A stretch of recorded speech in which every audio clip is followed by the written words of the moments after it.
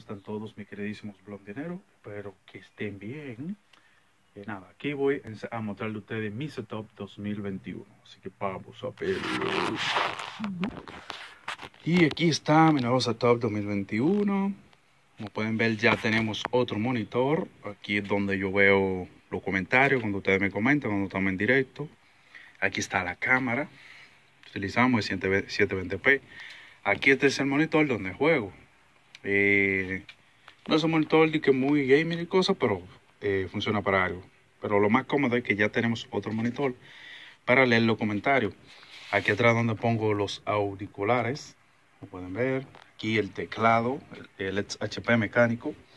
Y aquí está el mouse, es muy bonito. Este es el Let's HP. Este es el micrófono que utilizo, el Sonhua. Sonhua es una marca rara ahí. 66, SH666.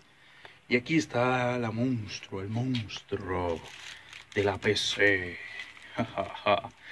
aquí tenemos, señores, la máquina, la máquina, la máquina. Y aquí, como pueden ver, tengo un control para los abanicos de adelante. Solamente he podido ponerle dos. De RGB, le doy acá.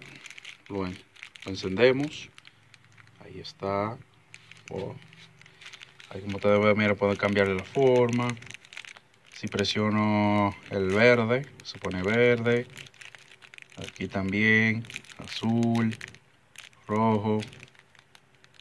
Pero me gusta siempre dejarlo así, modo automático, para que vaya cambiando de forma y color solo. Solamente tengo esos dos abanicos con el aparatico que está ahí. Después le iré cambiando estos dos y luego el de ahí atrás.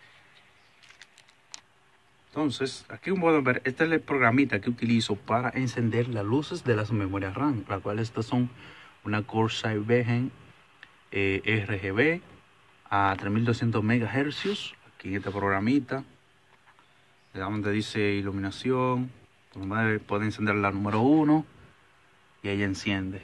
Enciendo la número 2 y allá enciende.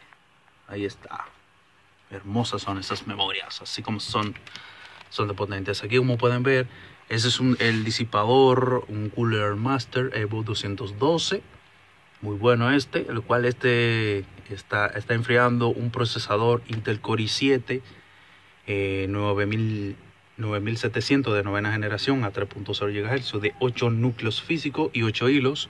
Y aquí está la tarjeta gráfica que es una RX de la marca XFX de 4 GB GDDR5 y el motherboard, ahí está, es un Z390 de la marca Gigabit Gaming X.